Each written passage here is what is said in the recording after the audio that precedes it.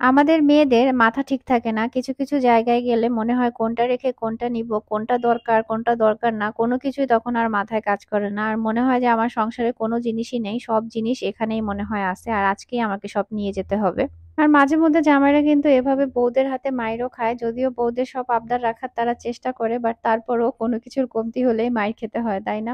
আর আজকে একটা পছন্দের জিনিস গিফট পেলাম বাট এই গিফটটা কে করল এবং কোথা থেকে আসলো সেটাও কিন্তু আজকে শেয়ার করব। আসসালামু আলাইকুম এভরিওয়ান আমি তামান্না নাসির বলছি ঢাকা থেকে। আশা করছি আপনারা যে যেখান থেকে আমার ব্লগটি দেখছেন সবাই ভালো আছেন, সুস্থ আছেন। আমরাও আলহামদুলিল্লাহ সবাই ভালোই আছি। আর ঢাকা আসার পর থেকে না একটা সমস্যা ফেস করতেছি। সমস্যাটা বলব আপনাদের। আপনারা একটু জানাবেন যে আসলে এটার কারণ কি? তো যাই হোক আজকে দুপুরবেলা থেকে ব্লগটা শুরু করেছিলাম। রান্নাবান্না মোটামুটি শেষের দিকে। এখানে হচ্ছে আমড়া দিয়ে ডাল রান্না হয়েছে, ভাত রান্না হয়েছে আর আজকে পোয়া মাছ রান্না করা হয়েছে। তো পোয়া মাছের রেসিপি যেহেতু কয়েকদিন আগে শেয়ার করেছি তাই আজকে আর শেয়ার করলাম না। তো ভাবলাম আজকে আপনাদের সাথে পটলের একটা রেসিপি শেয়ার করি। এটা অনেক আগে হয়তো ভিডিওতে শেয়ার করেছিলাম। তো পটলগুলো হালকা লবণ হলুদ দিয়ে হচ্ছে ভেজে নেওয়া হয়েছে। এরপরে বেশ অনেকটা পেঁয়াজ বাটা আর অল্প একটু রসুন বাটা দিয়ে মশলাটাকে খুব ভালো মতো কষায় নিতে হবে। আর এখানে দিয়ে দিতে হবে অল্প একটু মরিচের গুঁড়া আর হলুদের গুঁড়া আর স্বাদ মতো লবণ। আর কোনো মশলাই এখানে দিতে হবে না। তবে মশলাটা অনেক বেশি মানে ভাজতে হবে, একদম ভাজা ভাজা করে লাল করে ফেলতে হবে। এভাবে আসলে যেকোনো মাছেও আপনারা সেইম ভাবে ভুনা করতে পারেন অথবা যেকোনো মানে সবজি এভাবে ভেজে তারপরে ভুনা করতে পারেন। বিশ্বাস করেন এত বেশি টেস্ট হয় নর্মালি ভাজার থেকে যা বলার বাইরে। এইটা দিয়েই এক প্লেট ভাত অনায়াসে খেয়ে ফেলা যাবে। তো মশলাটা ভাজতে, ভাজতে দেখেন একেবারে কতটুকু করে ফেলছি। তো তার মধ্যে এবার পটলগুলো দিয়ে দিচ্ছি। আর বেশি যেহেতু পটল না তাই মশলাও কম ছিল। তো খুব ভালো মতো এখন মশলার সাথে মিশিয়ে নিচ্ছি। আর সেম ভাবে যেকোনো মাছ অথবা কাঁকরোলও কিন্তু এভাবে করতে পারেন। খেতে অনেক বেশি ভালো লাগে। লাগে ট্রাই করে দেখতে পারেন। আর এদিকে আবরার সাহেব হচ্ছে গিয়ে নয়নার সাথে খেলতেছিল, তো তার শরীরটা যেহেতু ভালো, যার কারণে সে একটু হাসি খুশি আছে। শরীর খারাপ থাকলে তখন আর বেচারার দিকে তাকানো যায় না। তো সে একটু কি বলে, লুকোচুরি খেলতেছে, হাত দিয়ে মুখ ঢাকতেছে। আমি বলতেছিলাম যে একটু হাসি দাও, তো সে হাসি দিবে না। সেই জন্য মুখ ঢেকে রাখতেছে। আর ওর সাথে একটু দুষ্টামি করলাম সেই জন্য। কয়েকদিন ধরে দেখছি রাতের বেলা ভালোই বৃষ্টি হয়, ভোরবেলাও বৃষ্টি হয়, কিন্তু দিনের বেলা আবার ভালোই রোদ ওঠে। তো এরকম হলে আসলে খারাপ লাগে না, কারণ দিনে বৃষ্টি হলেই যত বিপত্তি সবার কাজে যেতে অসুবিধা। আর এখানে আফিফের সাথে দাঁড়িয়ে দাঁড়িয়ে দাঁড়িয়ে বারান্দায় একটু কিছুক্ষণ গল্প করছিলাম। আর আমার একটা গিফট এসেছে, এবার ভাবলাম আপনাদের সাথে গিফটটা আনবক্স করি। তো অর্গানিক মেহেদি বাই ফারজানা, এই পেজ থেকে হচ্ছে মেহেদি গিফট আসছে। মেহেদি জিনিসটা বরাবরই আমার অনেক বেশি পছন্দের। কিন্তু ব্যস্ততার জন্য এখন অত বেশি মেহেদি পড়তে করতে পারি না। আর এখন বাজার থেকে মেহেদি কিনলে একটু টেনশনও হয়। মেহেদি দেওয়ার পরে অনেক সময় কালার হয় না, তখন মন খারাপ হয়। আর এই অর্গানিক মেহেদিগুলো কিন্তু একেবারে হান্ড্রেড পার্সেন্ট গ্যারান্টি থাকে যে মেহেদি কালার হবে আর খুব সুন্দর কালার হয়। তাই কষ্ট করে মেহেদি দেওয়ার পরে আসলে সুন্দর একটা কালার পেতে অবশ্যই কিন্তু ভালো একটা পেজ থেকে আপনারা এই মেহেদি নিতে পারেন। চাইলে অর্গানিক মেহেদি বাই ফারজানা এই পেজ থেকেও নিতে পারেন। তাদের পেজ লিঙ্কটা আমার ভিডিওর ডেসক্রিপশন বক্সে দেওয়া থাকবে। আপনারা চাইলে সেখান থেকে অর্ডার করতে পারবেন। আর এখানে সবকিছু ডিটেলসে লেখা আছে কীভাবে মেহেদিটা ইউজ করতে হবে। আর আপুকে অনেক ধন্যবাদ। ঢাকা আসার পরে এত সুন্দর একটা গিফট পাঠানোর জন্য। আর আজকে খাওয়া দাওয়ার পরে না ঘুমিয়ে গিয়েছিলাম একটুখানি বাচ্চা কাচ্চা সবগুলাকে নিয়ে। তো যদিও ঘুম ভালো হয়নি বাট একটু শুয়েছিলাম আর কি তো সন্ধ্যার সময় উঠে দেন হচ্ছে গিয়ে এদিকে হচ্ছে পিঠা এনেছে। তো বাসার পাশে এক জায়গায় পিঠা বানায়। তো ওই দিন পিঠা খেয়ে ভালো লেগেছিল। তো আজকে আবার এনেছে। তো আবরা সাহেব আর প্যাকেট থেকে বের করতে পারতেছিল না। তো সেটা নিয়ে একটু মজা করতেছিলাম। আমিও বলেছিলাম, তুমি বের করো। সে অনেক চেষ্টা করতেছিল। তো এরপরে বড় ভাইয়াকে ডাকতেছে, বলে, দাইয়া, তুমি একটু হেল্প করো। সুন্দর করে বলে আবার। তো তারপরে তার ধাইয়া এসে তাকে একটু হেল্প করতেছে। আর বলতেছে, পিঠা তো ছিঁড়ে গেছে, এগুলো নষ্ট, এগুলো খাওয়া যাবে না। এই হচ্ছে তার অবস্থা। তো এরপরে রাতের বেলা আফিফের আব্বু অফিস থেকে ফেরার পথে বলতেছিল যে, চলো একটু বাইরে যাই, একটু ঘুরে আসি। কিন্তু বেচারা আজকে আমাকে এমন এমন এরিয়ায় ঘুরতে নিয়ে আসছে যেখানে আমি আগে জীবনেও আসি নাই। আর রাস্তাও এত ভাঙাচোরা ছিল, কি বলব? তাই মনের দুঃখে আর ওইসব জায়গায় ভিডিওই করিনি। তো এরপরে হচ্ছে আরএফএল এর একটা দোকান চোখে পড়ে গেল। আর আমি বললাম, তাড়াতাড়ি নামো, এখান থেকে কিছু প্রয়োজনীয় জিনিস কিনতে হবে। এই কথা বলে নেমেছি মাত্র। তো হাফিফের আব্বুর জন্য একটা লাঞ্চ বক্স নেওয়া খুব দরকার। কারণ ও যেহেতু এখন আসলে বাহিরে খাওয়া সেরকম একটা অভ্যস্ত না, তো দেখা যাবে রেগুলার বাহিরে খেলে তো অসুস্থ হয়ে যাবে। তো সেই জন্য একটা লাঞ্চ বক্স হলে বাসা থেকে অল্প করে যেই খাবারই হোক সেটা যদি নিয়ে যায়, ও দুপুরে খেয়ে নিতে পারবে। যদিও সকাল সকাল উঠে ওর জন্য এগুলো সব রেডি করে দিতে হবে। তো নতুন জায়গা, নতুন পরিবেশ সব কিছুর জন্য নতুনভাবে অ্যাডজাস্ট করতে হবে, এটাই স্বাভাবিক। সিলেটে তো যত কাজই থাকতো, একটা না একটা সময় দেরি হলেও বাসায় এসে খেয়ে যেতে পারতো। এই বাসায় খাওয়ার সেই সুযোগটা ছিল কিন্তু ঢাকায় তো আর সেই সুযোগটা নেই। তো এই জন্য দেখা যাবে ওর সকাল, সকালই খাবার-দাবার নিয়ে বের হয়ে যেতে হবে। তো আমি এক একটা রেখে এক একটা দেখাচ্ছিলাম। বললাম, "এইটা বড় আছে, এইটা নাও। আর তুমি হচ্ছে এরা কাঁধে নিয়ে ঘুরবা।" তো সে হাসতেছিল। সে বলতেছে, "লাল কালার বাদ দিয়ে অন্য কালার দেখো, লাল কালার নেওয়া যাবে না?" আর এটা বেশ বড় সড়ো ছিল। বলতেছে, "এত বড় জিনিসের দরকার নাই। ছোট্ট কোনোটা দাও। হালকা পাতলা খাবার নিতে পারলেই হবে। অল্প করে খাব আরকি।" তো এরপরে ঘুরে, ঘুরে দেখতেছিলাম আর অন্যান্য কি নেওয়া যায়। আর এই সব জায়গায় ঢুকলে যেটা হয় প্রয়োজনীয় জিনিস একটা কিনতে ঢুকবেন আর দশটা কিনে বের হবেন। মানে দোকানগুলোই এমনভাবে সাজানো থাকে যে দেখেই জিনিস দেখেই মনে হয় যে মানে ওই জিনিসগুলো বলতেছে যে আমাকে নিয়ে যান বাসায়, আমাকে নিয়ে যান বাসায় এরকম একটা ফিল হয়। তো সব মেয়েদের ক্ষেত্রে হয় কিনা জানি না। আমার মনে হয় ম্যাক্সিমাম আপুদের ক্ষেত্রেই এই জিনিসটা হবে যে এইসব দোকানে ঢুকলে একটা জিনিস কিনতে যেয়ে দশটা জিনিস কিনে নিয়ে আসে। এতে করে তো দোকানের ভালো ব্যবসায়ী হয় বাট নিজেদের পকেট ফাঁকা হয়ে যায়। আর অনেক সময় বাসায় অনেক অপ্রয়োজনীয় জিনিস চলে আসে যেগুলো আসলে দরকার হয় না। বাট ওই সময় দেখে মনে হয় যে না এটা দরকার, এটা কিনে ফেলি এরকম একটা বিষয়। তো এখানে আরেকটা দেখলাম লাঞ্চ বক্স এটা বেশ বড়সড় এবং ভালোই ছিল। বাট এটাও বলতেছে এটা বেশি বড়, ছোট দেখে একটা নিবে। তো আমি বললাম, "ছোট তো কত ছোট? তাহলে তুমি কি খাবাই না? তুমি কি আফিফ নাকি যে আফিফের মতো ছোট্ট বক্সে তোমাকে টিফিন দিব?" এই হচ্ছে গিয়ে অবস্থা। আর এইসব দোকানে আসলে যে মানে আমরা আমাদের প্রয়োজন ছাড়াও অনেক সময় অনেক জিনিস পছন্দ করে কিনে ফেলি। সেগুলো থেকে কীভাবে বাঁচতে পারবেন সেটার একটা টিপস আপনাদেরকে শেয়ার করি। সেটা হচ্ছে এইসব দোকানে ঢুকলে যেই জিনিসগুলো মনে হবে দেখেই যে পছন্দ হয়েছে এই জিনিসটা বাসার জন্য কিনে নিয়ে যাওয়া দরকার। তখন কি করবেন সেই জিনিসটা ওই দিন পছন্দ করে রেখে আসবেন এবং মানে বাসায় এসে সময় নিবেন যে বাসায় এসে চিন্তা করবেন যে আসলে এই জিনিসটা দরকার কিনা বা, এটা বাসায় এনে কোন জায়গায় রাখব বা কি কাজে আসলে ব্যবহার করব সেটা একটু চিন্তা ভাবনা করবেন। তখন দেখবেন কি মানে মাথা থেকে ওই ভূতটা না চলে যাবে যে আসলে এই জিনিসটা আমার দরকার। কারণ ইনস্ট্যান্ট আমরা একটা জিনিস দেখলে মনে হয় এই জিনিসটা দরকার। কিন্তু যখন আপনি সেই জিনিসটা নিয়ে একদিন বাসায় এসে ভাববেন দেখবেন যে মনে হবে যে 50% এই জিনিসটা দরকার আর 50% দরকার না। তো তখন আপনি আসলে সিদ্ধান্ত নিতে পারবেন।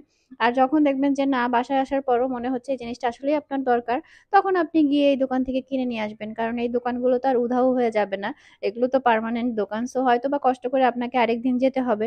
তো যেদিন বের হবেন সেদিন আবার কিনে নিয়ে আসবেন। কিন্তু ওই যে দেখেই যে কিনে ফেলবেন তাহলেই না বিপদ হয়। তখন বাসায় আনার পরে অনেক সময় সেই জিনিসটা আর কাজে লাগে না বা ইউজ করা হয় না। শুধু, শুধু টাকাটাই নষ্ট হয়। তো যাই হোক আমাদের একটা ফ্লাস্ক নেওয়া দরকার। ফ্লাস্কটা ভেঙে গিয়েছে। যার কারণে দেখতেছিলাম যে কোনটা নিব আর এসব জায়গায় আসলে আমারও প্রচুর আগে মানে কনফিউশন হতো আর অনেক জিনিস অপ্রয়োজনীয় কিনে ফেলতাম। তো সেই জন্য আমি এখন থেকে এই বুদ্ধিটা খাটাই। তাও অনেক কিছু সেভ করা যায়। আর একেবারে দরকারি জিনিস ছাড়া আর নেওয়া হয় না। আর এদিকে তার দুষ্টামি দেখেন। সে বলতেছে লাঞ্চ বক্স এভাবে কাঁধে নিয়ে সে দৌড়ায়, দৌড়ায় অফিসে যাবে। মানে ও কোনোভাবে রাজি না যে খাবার নিয়ে যাবে অফিসে। বলতে সেটা নিয়ে আমাকে ক্যারি করতে হবে ঝামেলা। আবার ওইদিকেও বলে যে বাহিরে খেলে তো অসুস্থ হয়ে যাব। ভালোমতো শান্তিমতো খেতে পারি না বাহিরের খাবার-দাবারে যেহেতু অভ্যস্ত না। সো সেটাও আবার বলে। আর এই বয়মগুলো দেখে খুবই ভালো লেগেছে কিন্তু কিনিনি। যে চিন্তা করলাম যে দেখি। কারণ আগে কি করতাম গেলেই যে জিনিসটা দেখে আমার আনকমন মনে হতো, ভালো লাগতো সেই জিনিসটা কিনে ফেলতাম। তারপরে বাসায় এনে দেখতাম হয়তো সেম জিনিস আমার আছে, কাছাকাছি জিনিস আছে যেটা দিয়ে আমার কাজ চলে যাচ্ছে। শুধু, শুধু জিনিসগুলো কি হতো মানে আমার ঘরে জায়গা নষ্ট করতো ইউজ করার হতো না বা ইউজ করার সেই স্পেসটা পেতাম না। তো আগের থেকে সময়ের সাথে, সাথে অনেকটা বুঝ হয়েছে। এখন আর এসব দেখে পাগলামিও করি না আর একেবারে মন চাইলে সাথে, সাথে কিনে ফেলি না। একটু সময় নেই বলি যে চলে যাচ্ছে না জিনিস আছে টাকা আমার কাছে থাকলে আমি জিনিস অবশ্যই কিনতে পারব। আজ কিনি আর কাল কিনি। তবে আগে দরকার হচ্ছে যে জিনিসটা প্রয়োজন কিনা।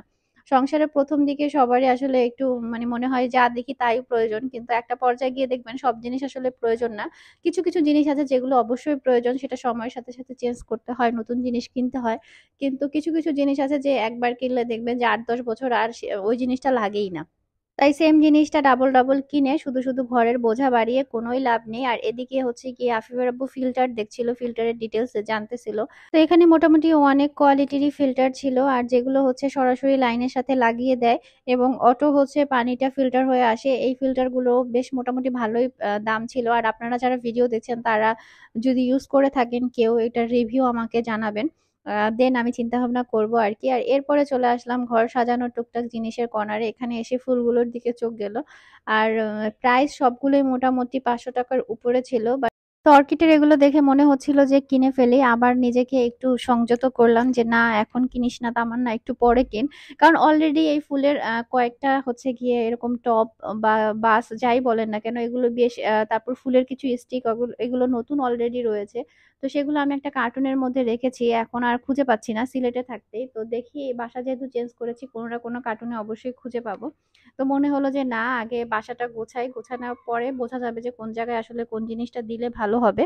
তখন সেই অনুযায়ী না হয় লাগলে কিনে নিব। শুধু শুধু এখন কিনে মানে কি বলে, বোঝা বাড়ানোর দরকার নেই। তো এভাবেই নিজেকে নিজে সান্ত্বনা দিলাম। আর কোথাও কিছু কিনতে গেলে যেটা হয়, আমি যে জিনিসটাই ধরি আফিফের আব্বু বলে, লাগলে নিয়ে নাও, লাগলে নিয়ে নাও। সেও তার পকেটের দিকে সেরকম একটা চিন্তা করে না। এই জন্য আমার জিনিসপত্র আরও বেশি কেনা হয়ে যায়। সেই জন্য আগের মতো এখন একদম কেনাকাটা আমি করি না বললেই চলে। আমি এখন ওকে জিজ্ঞেসই করি না। যেটা দেখে মনে হয় যে, না, আমার একেবারে দরকার, সেই জিনিসটা নিব। আর ও হচ্ছে এমন একটা মানুষ যে জিনিসে আমি হাত দিব, ভাবে কি সেই জিনিসটাই মনে হয় পছন্দ হয়েছে বলে পরেও বলবে না কিনলে যে, কিনে ফেলো নাহলে বাসায় এসে বলব, ওই জিনিসটা তো তুমি দেখলা কিনলা না কেন? মানে এই হচ্ছে কি ওর অবস্থা। তো এইসব জামাই নিয়ে আরও বেশি বিপদে পড়তে হয় আর টাকা পয়সাও বেশি খরচ হয়ে যায়। পরে মনে হয় যে, না, আসলে কাজটা ঠিক হয়নি। তো এরপরে গ্যাসের চুলা দেখতেছিলাম, যদিও এখন চুলা নিব না বাট আমাদের যে চুলাটা সেটা এখনও ভালো আছে। এই যে এখানকার অ্যাশ কালারের যে চুলাটা, সেটা হচ্ছে গিয়ে আমাদের বর্তমান চুলাটা। আর দেখলাম যে, আগের তুলনায় প্রায় আড়াই হাজার টাকার মতো দাম বেড়ে গিয়েছে। আর আমার কাছে মনে হয় একেবারে নিচের যে স্টিলের চুলা, এগুলোই ভালো। এগুলো ক্লিন রাখা যায় খুব সহজে। আর আমাদের চুলাটা হচ্ছে গিয়ে কি রান্নাবান্নায় দীর্ঘদিন ইউজ ইউজ করলে না হলুদের একটা দাগ পড়ে যায়। যতই আপনি ক্লিন করেন সেই দাগটা আর যায় না। আর গ্লাস টপ থাকলে তো অনেক সময় সেগুলো নাকি ফেটে যায়। তো যাই হোক সেগুলো দেখার পরে এরপরে আবার চলে আসলাম চানাচুর নেওয়ার জন্য। তো কোনটা নিব সেটাই চিন্তা করতেছিলাম। আর ও তো দোকানে ঢুকলে দোকানে সবার সাথে খালি দুষ্টামি করতে থাকে। যেটা ডিসকাউন্ট নাই বলে এইটাই ডিসকাউন্ট দেন, তাইলে এটা নিয়ে যাব। এরকম করতে থাকে। মানে এক দোকানে একবার ঢুকলে সেখানকার স্টাফরা ওকে চেহারা সবসময় মনে রাখবে, এরকমও দুষ্টামি করতে থাকে। তো বাস্তব লাইফে ওকে যারা সবসময় দেখেছে তারা সবাই জানে যে এত পরিমাণ মানে সে কি বলে দুষ্টামি করতে থাকে যেটা বলার অপেক্ষা রাখে না। তো আমার সাথেও মাঝে মাঝে এরকম করতে থাকে যে জিনিসটা মনে করেন কেনা হয়েছে সেই জিনিসটা আবার বলবে এটা নাও এটা নাও। তো বোঝা যায় না যে কোনটা আসলে ও নিতে বলতেছে আর কোনটা নিতে না করতেছে। আর এখানে এসে আফিফ আবরারের কথা মনে হচ্ছে, কারণ তারা এগুলো দেখলে এগুলো নিতে চাইতো। আর আরএফএলের দোকানে কিন্তু এখন মোটামুটি সব কিছুই পাওয়া যায়। তো যাই হোক, এরপরে বের হয়ে দরজার সামনে তাদের এই গাছটা দেখে আমার এই গাছের কথা মনে পড়ে গেল। আমারও এরকম সুন্দর একটা গাছ ছিল বাট এখন সেটা আর নেই। তো এরপরে শুধু শুধুই মানে কতক্ষণ মানে কি বলে, বাইকের তেল নষ্ট করা আর কি, এদিক সেদিক এদিক সেদিক অনেক জায়গায় ঘোরাঘুরি করলাম। আর জামাই বলতেছিল মেট্রো রেলে কবে উঠবো? আমি বললাম, ঠিক আছে, উঠবো না। আচ্ছা মেট্রো রেলে কোন কোন জায়গা থেকে ওঠা যায়? আমাকে একটু জানাবেন তো, যারা অলরেডি উঠেছেন তারা। ঠিক আছে, যে কোন জায়গা থেকে কোন জায়গা থেকে ওঠা যায়। সো সেই অনুযায়ী আমরা আমাদের লোকেশন যেখান থেকে সুবিধা হয়, সেই জায়গা থেকে রেলে উঠবো আর কি। আমার জানা নেই, তাই আমাকে অনেকে কি বলে একটু আহাম্মকও ভাবতে পারেন, বাট সমস্যা নেই, আমি তাতে মাইন্ড করব না। আর এদিকে জামাইরে বলতেছিলাম, তুমি এইটা কিনা দিলা না, ওইটা কিনা দিলাম না, দিলা না। এটা ইচ্ছা করে বলতেছিলাম, যদিও আমি ইচ্ছা করে অনেক জিনিস আসলে আজকে কিনি নাই। তো এরপরে এক প্লেট ফুচকাই নিলাম, কারণ দুইজনের তেমন একটা ক্ষুধা নাই, আবার মনে হচ্ছিল কিছু একটা খাই, তো সেই জন্যই খাওয়া। তো অল্প করে খেয়ে নিলাম, না হলে বেশি খেলে দেখা যায় কি, বাসায় গিয়ে আর ভাত খাওয়ার সেই অবস্থাটা থাকে না। তো এরপরে চলে আসলাম, আসার পথে রাস্তায় হচ্ছে দেখলাম বাকুরখানির একটা দোকান। তো ভাবলাম যে বাসার জন্য বাকুরখানি কিনে নিয়ে যাই। বাকুরখানি খেতে বেশ ভালো লাগে, সিলেটে ওইভাবে পেতাম না। যখন ঢাকায় আসতাম তখন ঢাকা থেকে কিনে নিয়ে যেতাম বাট এখন খাবার দাবারের ক্ষেত্রে সবকিছুই তো সহজলভ্য।